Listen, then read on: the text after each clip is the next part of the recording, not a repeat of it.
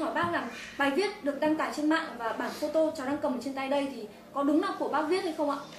Ờ, bản ờ, photo với bản trên mạng ấy là mà cháu đưa cầm đến đây cho bác. Bác đã đưa một bản khác của bác còn lưu đại ở đây đưa cho các cháu xem. Thì đó là hoàn toàn chính xác một trăm phần trăm.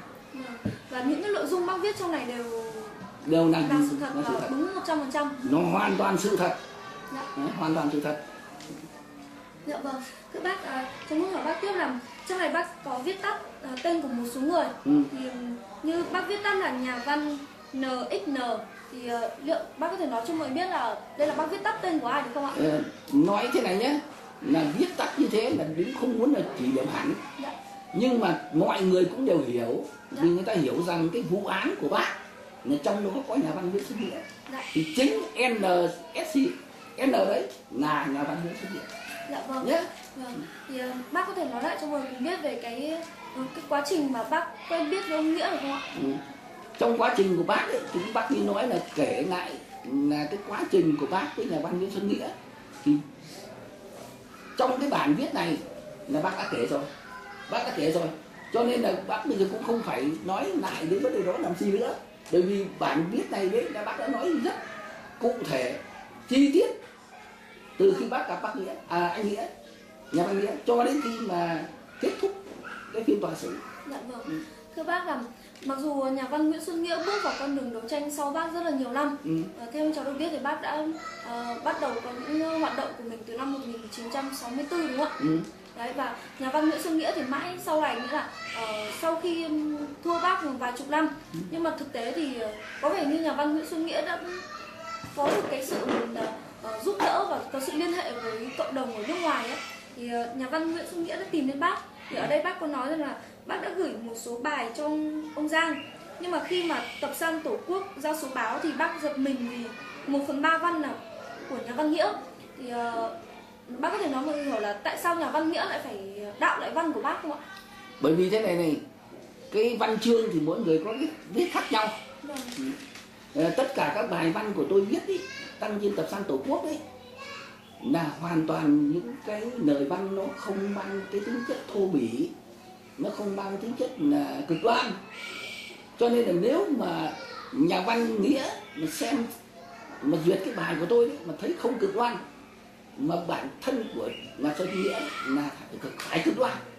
Cho nên là nhà văn nghĩa muốn là sửa đi để cho nó mạnh mẽ hơn nó cực đoan hơn thì nhà văn nghĩa đồng cái ý kiến của nhà văn bản Vâng. Vâng thưa bác là ở đoạn sau thì bác có nhắc đến là ông Thanh Giang đã nói với bác là văn của bác viết được như bác rất là hiếm. Đúng. nghĩa là ở những cái ngôn từ và cái cách lập luận của bác rất là hay.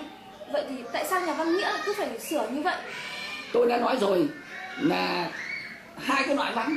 Vâng. Một cái loại cực đoan và cái loại văn ôn hòa. Thì nhà văn nghĩa đại diện cho cực đoan. Thế thì nếu mà, mà, cái bài văn ôn hòa mà đưa cho người cực đoan người ta đọc thì người ta xét thấy rằng không không không không, không, không dùng được mà phải thêm ý kiến khác vào để cho nó cực đoan hơn để nó như thế đấy nghĩa là nhà văn nghĩa đã sửa lại bài viết của bác để cho nó ờ, cực đoan hơn đúng không ạ Đúng, đúng. Vâng.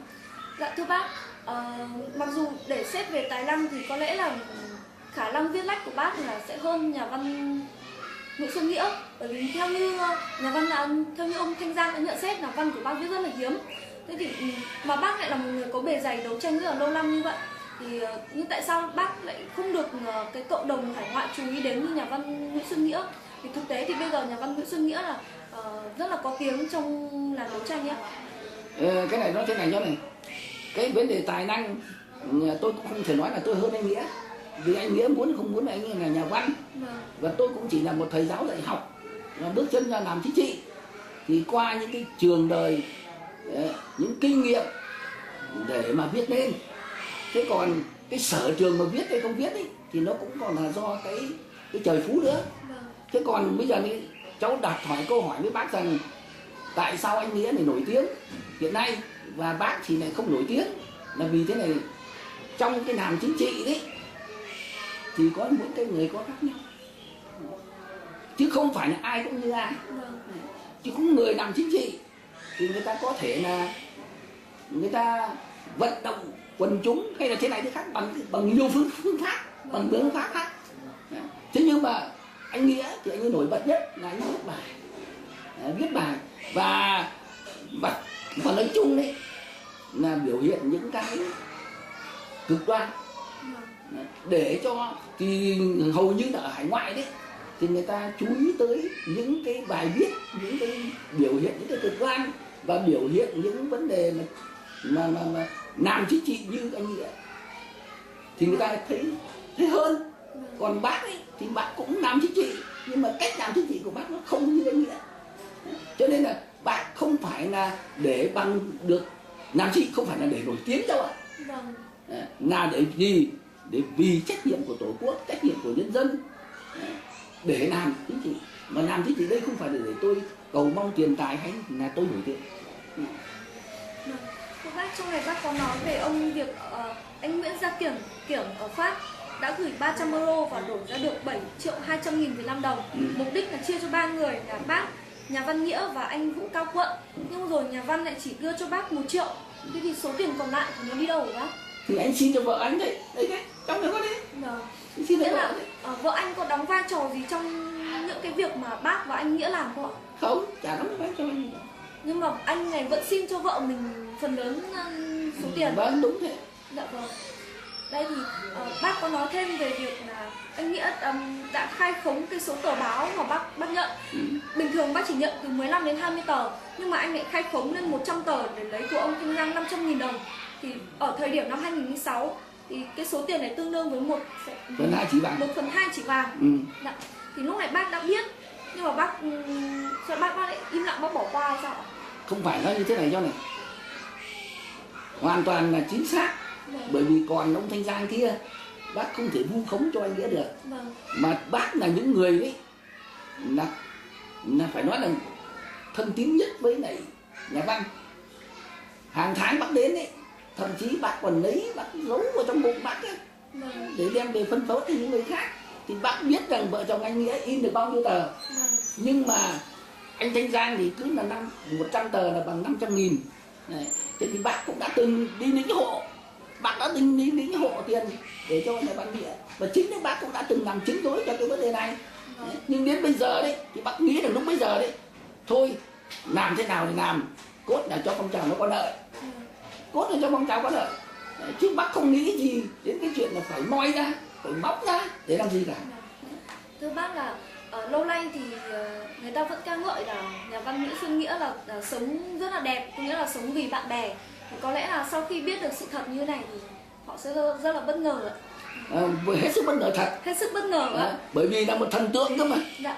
Đấy, mà là một thần tượng mà tất cả những cái vấn đề của nghĩa ở hải ngoại cũng như ở trong nước thì người ta coi anh như một thần tượng. Vâng. nhưng mà bác là những người gần gũi nhất bác là những người đồng cam cộng khổ nhất với anh nghĩa và bác là những người ấy. cho nên tất cả những bài viết của bác trong ở cái những lời bác viết ở đây hoàn toàn sự thật 100% và nếu mà anh bác nghĩ anh nghĩa đấy mà có kiện bác ra tòa thì bác sẵn sàng ra tòa để chịu cái trách nhiệm về vấn đề về cái tội vu khống nhé Thế là hóa ra là ờ, nhà văn Nguyễn Xuân Nghĩa thì không chỉ đây là ăn chặn của chính là những người đồng đội của mình mà còn ờ, lừa cả những người ở hải ngoại có nghĩa là đã thuê như bác viết là thuê những thằng nghiện với giá 400.000 đồng một người để cầm biểu ngữ dân hoan lên Hà Nội biểu tình như vậy có nghĩa là ờ, ông này đã, ông nghĩa đã thuê những cái cái cái người nghiện này đi biểu tình cho nó đủ quân số sau đấy là ờ, lĩnh tiền phải không hả bác? ừ, đúng thế đấy Dạ vâng. Sao, thì làm sao mà bác biết được là ờ, anh ấy thuê những thằng nghiện với giá 400 nghìn ạ? Ờ, ở đấy mà anh ấy thuê là bác có thể biết chứ vì bác thường thường là tiếp xúc với anh hàng ngày cơ mà sao bác không biết những cái chuyện đấy Dạ vâng. Thế là bác đã biết, bác biết rõ là cái cái việc nghĩa là thuê thuê người đi ờ, thuê những người nghiện để đi biểu tình đấy. Vâng. Thì bác có nói cho ai biết không ạ? Cái này thì lúc bây giờ là bác cũng chẳng nói cho ai Vâng. bởi vì bác cho rằng cái việc làm của anh nghĩa là anh ấy làm là để cho phong trào nó dấy lên thôi chứ bác cũng không nghĩ gì đến cái chuyện là phải nói cái vấn đề ra để cho nó không có lợi Vâng. Thế bác ờ, ở đây thì bác có nhắc đến ờ, vợ của anh Nghĩa. Thì Ừ. bác có nhận xét gì về ờ, vợ của về về người phụ nữ này ạ?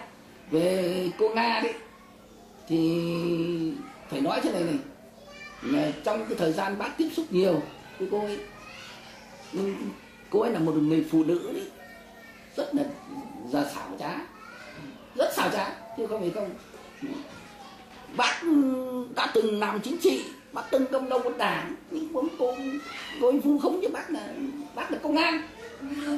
Ờ, thế có người người ta bảo là trình độ nó là trình độ gọi là trình độ văn hóa lùn. Thì cái thằng tính như là công an như là bây giờ nó thiếu tướng mà nó đại tá đi. Đi nó bắt 70 năm sau bác lại phải làm công an nữa hả? Thế nhưng mà cái dân chủ đấy là cứ có một cái gì? Đây bác không bơ có cả nắm bác chỉ nói có một số người thôi. Là không thích nhau không uh, ghét uh, ghét nhau không thích nhau thì cứ vu khống cho nhau nhà công an là mật vụ. Nó có một cái gì cả là đúng là như thế.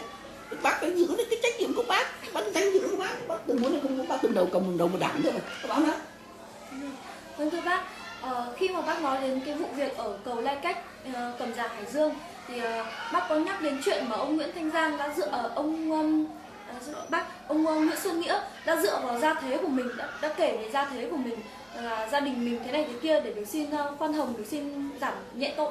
Thì bác nghĩ sao về cái cái hành động như vậy của ông nữa? tôi cho đó là cái hèn cái hèn ở cái chỗ thế này này. Tại sao bên ngoài thì không nói lý lịch mình đi? Nhưng mà khi khi đến cửa quan thì mới đưa cái lý lịch của gia đình mình ra để có công với nước. Để mới trong cái tình tiết giảm nhẹ là những gia đình có công với cách mạng. Cái tình tiết giảm nhẹ ấy mà anh đã lợi dụng nó trong cái phiên tòa. Vâng thưa bác trong này bác có viết rằng là uh, nhà văn nghĩa đã thực hiện đúng lời nói của mình trong lời phát biểu cuối cùng. Tôi xin nhận toàn bộ việc làm của tôi là sai lầm. Tôi rất ăn năn hối cải và mong hội đồng xét xử giảm án cho tôi. Đúng. Có nghĩa là ở phiên tòa thì ông nghĩa đã công khai nói rằng là thừa nhận những cái việc ông ấy làm là sai lầm và rất ăn năn hối cải. À, tuy nhiên mà sau khi hết hạn tù thì à, ông nghĩa lại tiếp tục quay trở lại cái con đường à, đấu tranh. Thì bác nghĩ sao về cái cái việc làm của ông ấy ạ có vẻ nó rất là mâu thuẫn đúng không ạ? Nó là hoàn toàn là mâu thuẫn. Dạ vâng. Thế nhưng mà nhưng mà thế này thôi ta cứ cho phép anh nghĩa là việt vương câu tiến cũng được. Vâng. Đấy. bởi vì rằng việt vương câu tiến này câu tiến còn nếm cứt vua ngô cơ mà. Đấy. để mà, mà, mà, mà phục dựng lại nhà, nhà nước việt cơ mà. Cho nên là thôi cái việc đó ta cũng không bình luận gì nữa mà ta cho rằng anh nghĩa thực hiện theo cái việt vương câu tiến cũng được thôi không sao. Vâng. Nhưng mà để biểu hiện ra rằng những cái hùng bi à những cái hùng tráng của anh nghĩa đừng đừng nói nhiều quá vâng đừng nói nhiều quá mà người ta lương tâm những người người ta biết người ta cười Tuy nhiên thì bây giờ thì người ta sẽ không người ta tuyệt nhiên không hề nhắc đến cái việc mà ông Nghĩa đã xin giảm án trước tòa. Người ta chỉ coi rằng là cái việc à, ông Nghĩa đã từng bị kết án, đã từng bị đi tù và như thế người ta cho rằng là ông Nghĩa rất là à, anh hùng, rất là khí phách, rất là hiên ngang, rất là à, trung dũng. Là Người ta ca ngợi về ông Nghĩa rất là nhiều. Thì ở trong này bác có nói đến anh Trần Anh Kim đúng không ạ? đúng rồi Vâng. Thì à, bác có nghe anh Kim anh à, Trần Anh Kim này nhận xét gì về ông Nghĩa không ạ? anh kim thì anh có nhận xét với tôi là anh nghĩa đấy là trong cái vấn đề đối xử với anh em Vâng. mà thí dụ như anh Nguyễn Kim Nhàn chẳng hạn đấy là cùng người Nghệ An với anh Nghĩa thì anh Nghĩa đã từng tuyên bố là thằng Nhàn với tôi là người đồng hương. Vâng. nhưng mà tôi không bao giờ nhận thằng Nhàn là người đồng hương cả. Ví dụ như thế nhé Dạ. thế là cái thứ hai nữa là những cái việc mà làm của anh Nghĩa ấy, thì anh Kim anh cũng cũng không tán thành lắm. Anh cũng có nói là "Ừ, tôi chỉ ăn ở nhà ông có bữa cơm thôi nhưng mà ông cũng khai là tôi. Chẳng hạn ví dụ như thế. Ờ, thưa bác là ờ, những cái sự việc này thì nó đều đã xảy ra rất là lâu rồi. Thì ờ, tại sao đến bây giờ bác mới công khai ra bây giờ thế này nhé 4 năm 4 năm qua. Năm vâng ạ. 4 năm qua nhưng mà vợ chồng anh Nghĩa vẫn chống tôi một cách kịch liệt. Và hoàn toàn tôi vẫn dung hòa không có gì cả. Nhưng đến bây giờ tôi mới lên tiếng bởi vì vợ chồng anh Nghĩa đã đi một đường quá xa trong vấn đề chống tôi. Có nghĩa là vợ chồng ờ, vợ chồng của nhà văn Nguyễn Xuân Nghĩa đã chống bác rất là kịch liệt trong khi thì bác ờ, đã từng bao che đã từng làm chứng dối cho anh ta để anh ta nhận tiền của ông Thanh Giang. Đúng cũng như là trong nhiều sự việc khác bác bao che anh ta nhưng anh ta lại làm như vậy. Đúng. Trong cổ hành động là ăn cháo đá bác đúng không ạ? À, đúng ạ, cháu xin cảm ơn bác đã chia sẻ những thông tin rất là quý giá về nhà văn Nguyễn Xuân Nghĩa. Chắc hẳn sau sự việc lần này thì rất là nhiều ờ, độc giả sẽ rất là ngạc nhiên về bộ mặt thật của nhà văn Nguyễn Xuân Nghĩa mà lâu nay các nhà dân chủ, các nhà đấu tranh thì vẫn coi ông Nghĩa như là một ngọn cờ đầu, thần tượng. Như là một thần tượng rất lớn. Để chống bác cái sao lại, sao lại chống bác ạ? bởi vì À, bác cho bác có che bác giúp nhiều việc và bác không nói gì từ từ năm đến bây giờ. Bây giờ bác mới nói mà ừ, nhà văn Nguyễn Xuân Nghĩa lại vợ chồng lại chồng. À thế giờ cháu hỏi thế thì nó có cái nguyên nhân của nó đấy. Ví dụ thế này nhá là tôi được đặc xá. Vâng. À, được đặc xá. Thì vợ nhà văn Nguyễn Thành Nghĩa cho rằng tôi đã đầu hàng cộng sản. À, để đặc xá biết. nhưng mà nhiều người đặc xá chứ thì Trần Đức Thành đặc xá này thế rồi thì Nghĩa được đặc xá không không Xin chào, hiện tại tôi đang đứng trước cửa của nhà văn nhà văn Nguyễn Xuân Nghĩa trước những lời cáo buộc của ông Kính về những điều của ông Nghĩa. Tuy nhiên, ông Nghĩa đã từ chối mọi câu hỏi và nói rằng là lâu nay thì ờ, vợ chồng ông Nghĩa đã không còn quan lại gì với ông Kính. Ờ, đồng thời cho khẳng định rằng những điều mà ông Kính nói thì sẽ không ảnh hưởng gì đến cá nhân ông Nghĩa cả.